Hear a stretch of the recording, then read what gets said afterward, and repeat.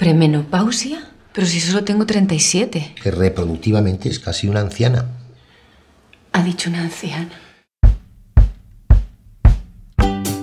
A lo mejor dentro de 10 años te preguntas, ¿por qué no lo hice? La in vitro es muy dura, ¿eh? Hay que estar 100% convencido.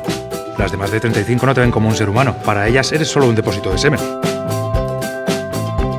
¿Quieres o no quieres? Ponerte a mirar porno no te va a ayudar a decidirte.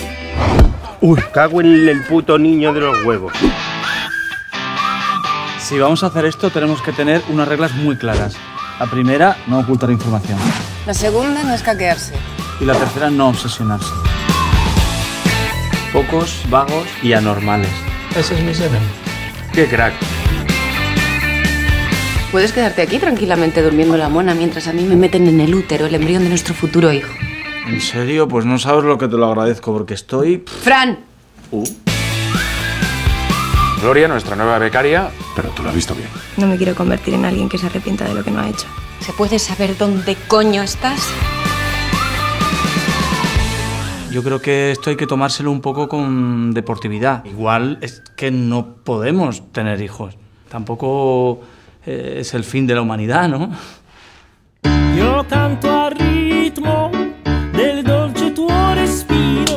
¡Fran! Esto es como un partido de tenis. Una vez que llegas al tiebreak no puedes abandonar. Una sola metáfora deportiva más. ¿Te tragas el chisme ese? ¿Qué te pasa? Nada. ¿Es por lo de la in vitro? No. Estoy pensando a quién voy a votar en las próximas elecciones. No te jodas. Sempre più in alto si va. Il mondo è matto perché basta una sola Todas las mujeres estáis locas. Las hormonas solo lo acentúan un poco. 啊？嘿嘿嘿嘿嘿嘿